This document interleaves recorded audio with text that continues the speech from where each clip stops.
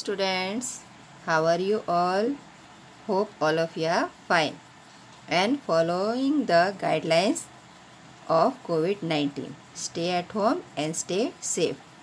Now today i shama khan is going to take your english lecture from your english junction book standard 4th now two parts we have completed. This is the third part of the recorded video of chapter number nine dream palace.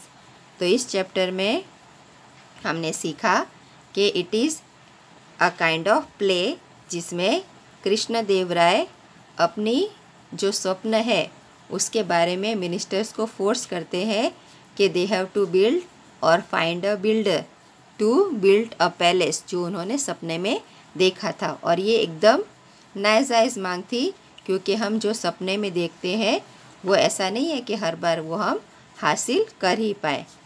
तो उनका जो court जैसा था तेनालीरामन उन्होंने तरकीब लगा के कृष्ण देव राय को उनकी गलती का एहसास कराया कि वो जो मांग कर रहे थे दैट इज़ नॉट पॉसिबल और अंत में राजा को भी समझ में आ जाता है कि ऐसा नहीं है कि हर बार हम जो सपना देखते हैं, वो पॉसिबल हो सके। So now we will do the textual exercise of this chapter page number 94 और आप सब जो टेक्सचुअल एक्सरसाइज करते हैं तो आपको पता ही है पेंसिल का यूज़ करना है।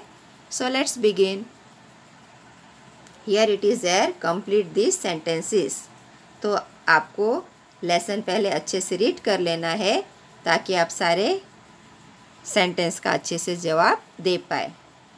First one the king promise to give तो राजा ने जो उनका ड्रीम पैलेस बनाएगा, उसको क्या देने का वचन दिया था? Yes a hundred thousand gold coins तो यहाँ पे स्पेस नहीं है. आप ऊपर भी लिख सकते हैं. Hundred thousand gold coins to the person who could build his dream palace जो उनका ड्रीम पैलेस बना पाएगा, उसे हंड्रेड थाउज़ेंड गोल्ड कॉइन राजा देंगे। Second one dash approach Tenali Raman for help तो तेनाली रमन के पास मदद मांगने कौन गए? Yes the ministers the ministers approach Tenali Raman for help third one Tenali Raman needed some time to उनको थोड़ा टाइम किस लिए चाहिए था? Yes think of a solution के इस समस्या का क्या निदान हो सकता है? वो सोचने के लिए उन्हें थोड़ा टाइम चाहिए था। Think of a solution fourth one the old man said that old man ने क्या कहा? The king and his ministers had looted him के राजा और उनके मंत्रियों ने उन्हें लूट लिया है। The old man said that the king and his ministers had looted him now the last sentence fifth one dash was actually Tenali Raman in disguise तो जो भेस बदल के आया था वो कौन था? Yes the old man was actually Tenali Raman in disguise disguise का मतलब भेस बदल के आया हुआ। तो जो ओल्ड मैन आया था, वो एक्चुअली में तेलानी रमन ही थे। उन्हें राजा को उनकी गलती का एहसास करवाना था, इसलिए वो अपनी भेस बदल के आए थे। Now will move on to the exercise page number ninety five वो ग्रामर से रिलेटेड है। तो first let's read the sentences पहला है I have come to you to ask for justice कि मैं आपके पास आया हूँ न्याय मांगने। थीव्स हैव लूटेड मी कि जो चोर है, उन्होंने मुझे लूट लिया है। I have not forgotten the dream palace कि मैंने रात में भले सपना देखा, मगर मैं अभी भी अपना जो ड्रीम पैलेस है, उसके बारे में भूला। नहीं हूँ। तो यहाँ पे जो वर्ड्स है, come, looted, forgotten, what are these? Yes, they are present perfect tense. तो आप पूछोगे कि आप प्रेजेंट परफेक्ट टेंस क्या होता है? तो चलो समझते हैं।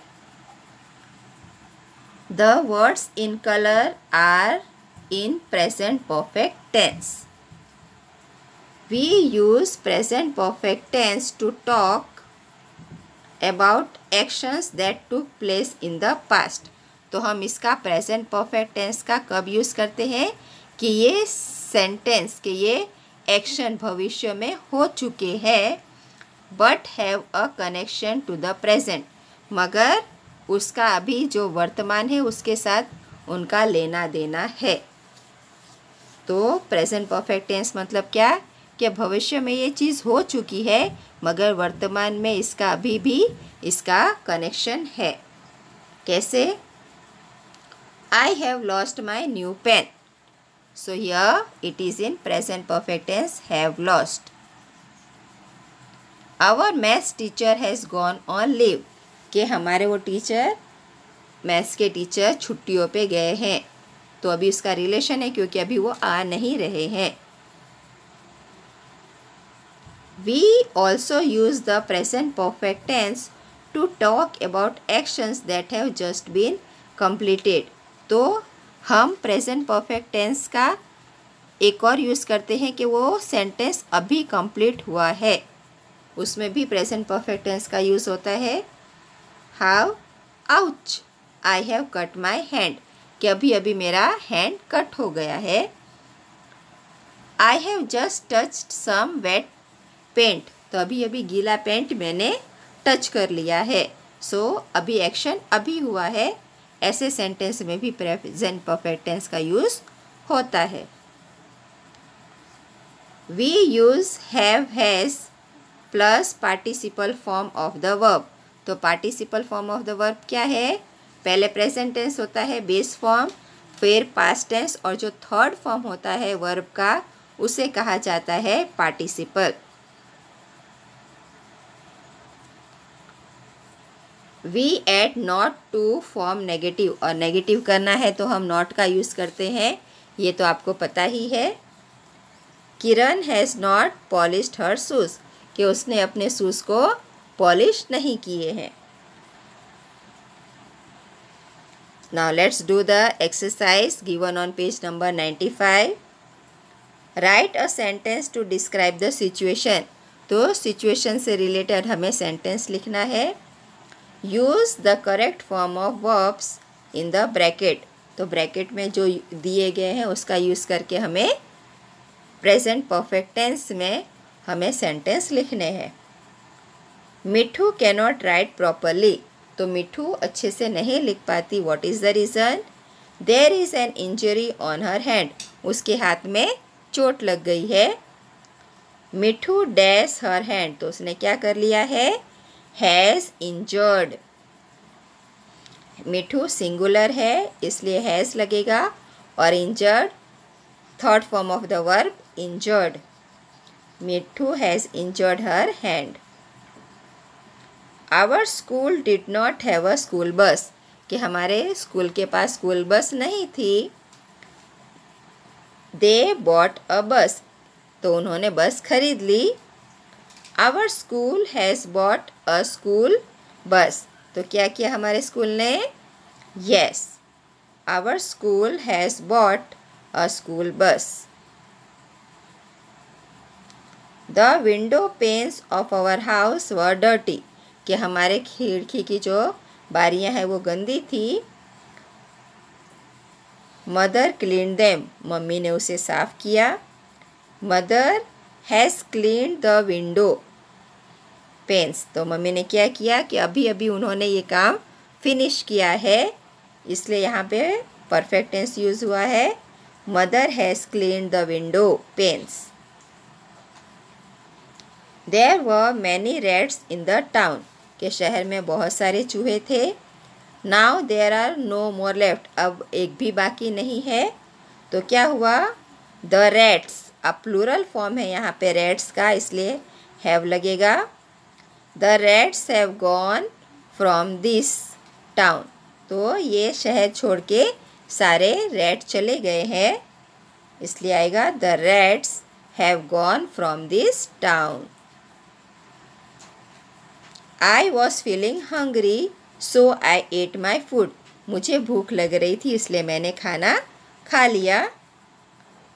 तो परफेक्ट टेंस में क्या होगा? I have eaten my food मैंने अपना खाना खा लिया।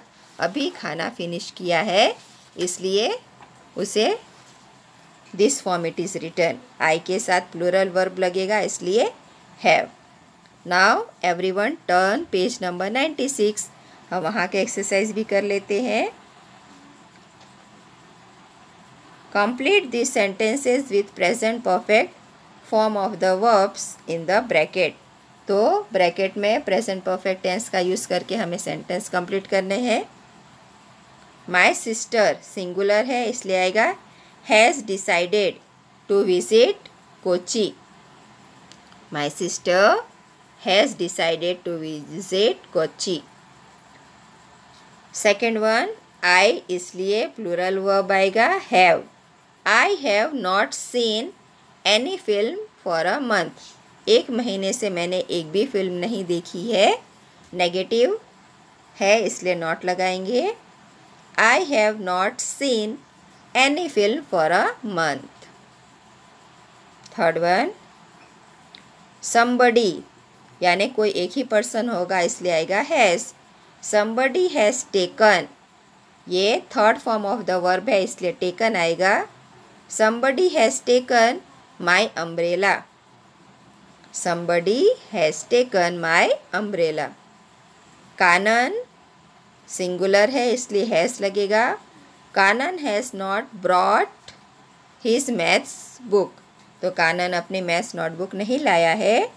So Kanan has not brought ये third form of the verb है his maths book fifth one Saba has broken. Her pen by mistake. भूल से उसने अपनी पेन तोड़ ली है। So it is has broken Saba has broken her pen by mistake six one my father तो father singular है, इसलिए लगेगा हैज़ और वर्ब का third form worked my father has worked in this company for five years तो पाँच सालों से मेरे पापा ने इस कंपनी में काम किया है। That's why has worked mister Roy has taught his school this school for a long time तो मिस्टर रॉय ने इस स्कूल में बहुत सालों से काम किया है।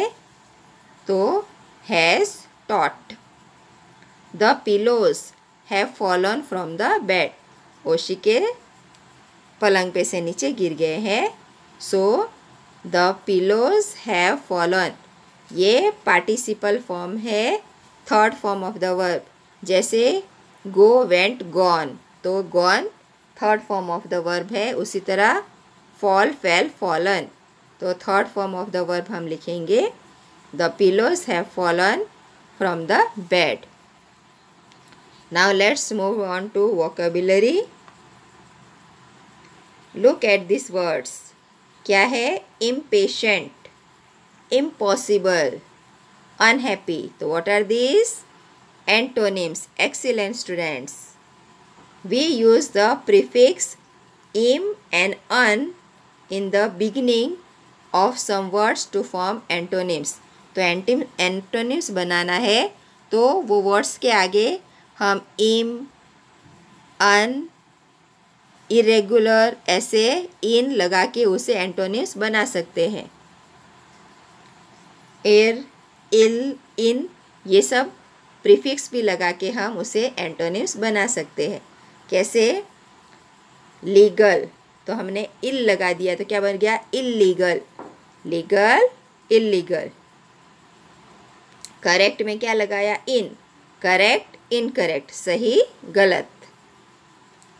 रेगुलर मीन्स रोज आना इरेगुलर यानी कभी आना, कभी नहीं आना। So regular irregular so these are antonyms prefix लगा के हमने बनाया है। अब क्या करना है हमें? Write this antonyms of this words by adding the correct prefix तो प्रीफिक्स लगा के हमें इस वर्ड्स के एंटोनिम्स बनाने हैं। फ़र्स्ट वन इज़ पोलाइट तो उसका क्या आएगा? इम्पोलाइट सेकेंड वन फ्रेंडली तो what will do unfriendly friendly unfriendly responsible irresponsible responsible यानी वो काम को बहुत ज़िम्मेदारी के साथ निभाता है और इरेगुलर के बिल्कुल भी जिम्मेदार नहीं। विजिबल यानी दिखाई देना इनविजिबल मीन्स नहीं दिखाई देना। विजिबल इनविजिबल लॉजिकल यानी ये बात एकदम ठीक है, उसके पीछे साइंस रिलेटेड है। इलॉजिकल मीन्स इसके पीछे कोई सच्चाई नहीं है it can be wrong also logical illogical healthy स्वस्थ अनहेल्दी अस्वस्थ. So this are the antonyms which you have found by adding the prefix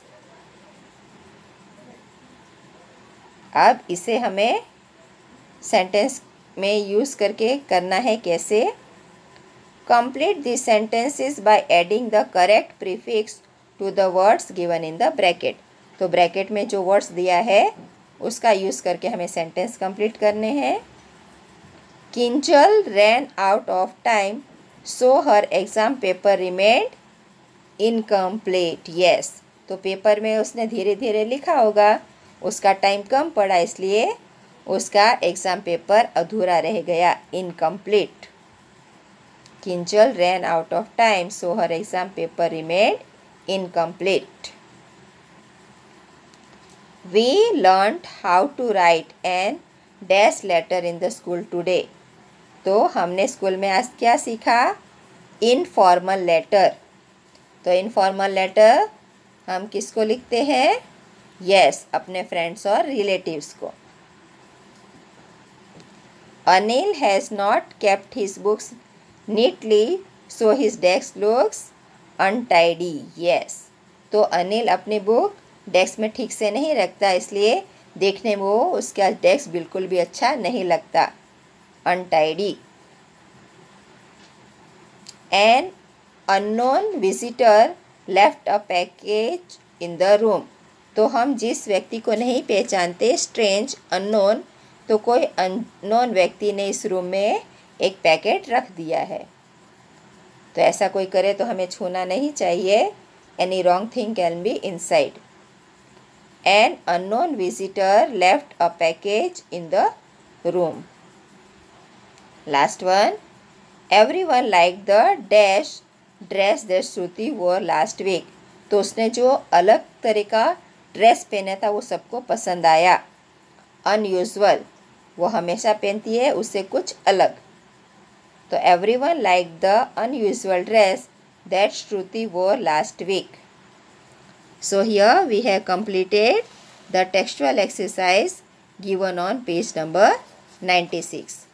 आपको फिर से याद दिला दूँ कि हम टेक्स्ट बुक में जो भी एक्सरसाइज करते हैं, वो पेंसिल से लिखते हैं and write in neat and clean and nice handwriting and on regular basis जो भी स्टोरी जो भी लेसन्स दिए गए हैं, वो टेक्स्ट बुक के रेगुलर बेसिस पे आप रीड करिए.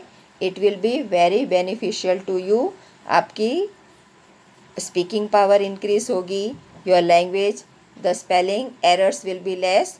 So on regular basis, please read the lessons regularly and watch the recorded video also on regular basis. Thank you everyone.